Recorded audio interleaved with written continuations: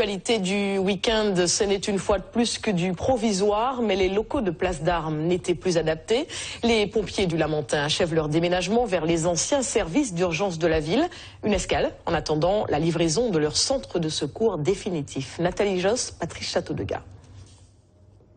En plein dans les cartons, il faut tout ranger, aménager les différentes salles. La tâche est immense, mais tous les pompiers sont à l'ouvrage. Le plus gros a déjà été fait, véhicules et matériels techniques sont en place afin d'être très rapidement opérationnels.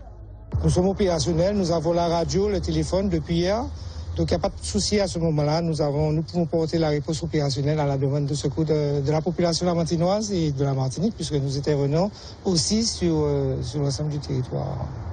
Un déménagement provisoire car les locaux de place d'armes où ils étaient installés de manière provisoire mais depuis déjà huit ans présentaient un réel danger. Ce sont des locaux provisoires. Euh, il est évident que par rapport au centre de secours de place d'armes dont les locaux n'étaient plus sécurisés, donc euh, absolument nous, sommes, nous serons mieux ici. Ce déménagement aux anciennes urgences du Lamentin était un moyen pour la ville du Lamentin de garder les pompiers sur leur territoire. C'était la solution pour que les pompiers restent sur le territoire du Lamentin, puisqu'il était prévu de les envoyer à la nouvelle caserne de Fort-de-France. Donc euh, pour une ville euh, de 40 000 habitants, je crois qu'il est important d'avoir sur site des sapeurs-pompiers, surtout que la ville du Lamentin, c'est le plus grand territoire de la Martinique.